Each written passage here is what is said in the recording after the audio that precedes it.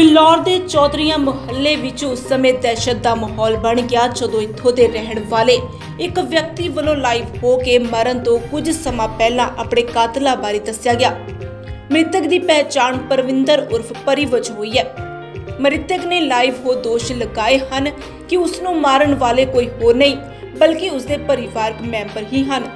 ਪਰਵਿੰਦਰ ਨੇ ਦੱਸਿਆ ਹੈ ਕਿ ਉਸ ਨੂੰ ਮਿੱਠੇ ਪਾਣੀ ਵਿੱਚ ਜ਼ਹਿਰ ਪਾ ਕੇ ਬੁਲਾਇਆ ਗਿਆ ਹੈ। ਜਿਸ ਤੋਂ ਬਾਅਦ ਉਸ ਨੂੰ ਕਮਰੇ ਵਿੱਚ ਬੰਦ ਕਰ ਦਿੱਤਾ ਗਿਆ ਤਾਂ ਜੋ ਉਹ ਹਸਪਤਾਲ ਨਾ ਜਾ ਸਕੇ। ਮ੍ਰਿਤਕ ਪਰਵਿੰਦਰ ਨੇ ਕਿਹਾ ਹੈ ਕਿ ਉਸ ਕੋਲ ਜੋ ਵੀ ਹੈ, ਉਹ ਗੁਰਦੁਆਰਾ ਸਾਹਿਬ ਨੂੰ ਦੇ ਦਿੱਤਾ ਜਾਵੇ। ਜ਼ਿਕਰਯੋਗ ਹੈ ਕਿ ਇਹ ਵੀਡੀਓ ਦੇਖ ਕੇ ਇੱਕ ਗੁਆਂਢੀ ਨੇ ਪੀੜਤ ਨੂੰ ਹਸਪਤਾਲ ਪਹੁੰਚਾਇਆ, ਜਿਸ ਤੋਂ ਬਾਅਦ ਹਸਪਤਾਲ ਵਿੱਚ ਇਲਾਜ ਦੌਰਾਨ ਉਸ ਦੀ ਮੌਤ ਹੋ ਗਈ।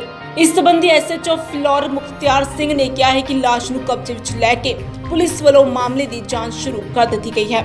ਹੁਣ ਪਹਿਲਾਂ ਕੋਈ ਬਣਾਈ ਸੀ ਉਹਦੇ ਵਿੱਚ ਉਹਨੇ ਇਹ ਗੱਲ ਕਹੀ ਸੀ ਵੀ ਵੇਖੋ ਮੇਰੇ ਘਰ ਦੇ ਕੀ ਕਰਦੇ ਗਲਾਸੀ 'ਚ ਐਂ ਪਾਣੀ 'ਚ ਕੋਈ ਚੀਜ਼ ਪਈ ਜਾਂਦਾ ਵੇਖੋ ਮੇਰੇ ਘਰ ਦੇ ਮੈਨੂੰ ਕੀ ਕਰ ਰਹੇ। ਆ ਤੇ ਮੇਰੇ ਘਰ ਦੇ ਮੈਨੂੰ ਧੱਕਾ ਕਰਦੇ ਜਿਹੜੀ ਮੇਰੀ ਜਾਇਦਾਦ ਗੁਰਦੁਆਰੇ ਦਿੱਤੀ ਜਾਵੇ ਫਲਾਂ ਕੀ ਕਰਕੇ।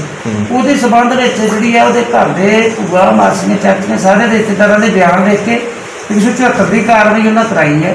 ਅਸੀਂ ਸਾਰਿਆਂ ਨੂੰ ਇਕੱਠੇ ਕਰਕੇ ਵੀ ਜੇ ਕਿਸੇ ਨੂੰ ਇਤਰਾਜ਼ ਹੈ ਤਾਂ ਦੱਸੋ ਕਿ ਮੂਵੀ ਵੀ ਵਾਇਰਲ ਹੋਈ ਹੈ। ਪਰ ਉਹਨਾਂ ਨੇ ਕਿਸੇ ਨੇ ਨਾ ਕੋਈ ਬਿਆਨ ਨਹੀਂ ਲਿਖਾਇਆ। ਜੋ ਬਿਆਨ ਲਿਖਾਇਆ ਉੱਤੇ ਜਿਹੜੀ ਬਣਦੀ ਕਾਰਵਾਈ ਕਰਦੀ ਆ ਪੋਸਟਮਾਰਟਮ ਦਾ ਰਿਸ਼ਤਾ ਵਗੈਰਾ ਕੱਢ ਕੇ ਭੇਜਿਆ ਵਾ। ਜਦੋਂ ਵੀ ਰਿਪੋਰਟ ਆ ਗਈ ਜਿਹੜੀ ਬਣਦੀ ਕਾਰਵਾਈ ਅਗਰ ਕਿਸੇ ਰਿਸ਼ਤੇਦਾਰ ਨੂੰ ਇਤਰਾਜ਼ ਹੋਇਆ ਤੇ ਉਹਦੀ ਉਹੋ ਜੀ ਕਾਰਵਾਈ ਕੀਤੀ ਜਾਵੇਗੀ ਫਿਲੌਰ ਤੋਂ ਅਮਰਜੀਤ ਸਿੰਘ ਮਨੂ ਦੀ report. All world open challenge 32 ਵਾਰ 골ਡ ਮੈਡਲਿਸਟ ਮੁਹੰਮਦ ਅਲੀ ਜੀ ਜੋ 24 ਘੰਟਿਆਂ 'ਚ ਕਰਨਗੇ ਤੁਹਾਡੀ ਹਰ ਸਮੱਸਿਆ ਦਾ ਹੱਲ।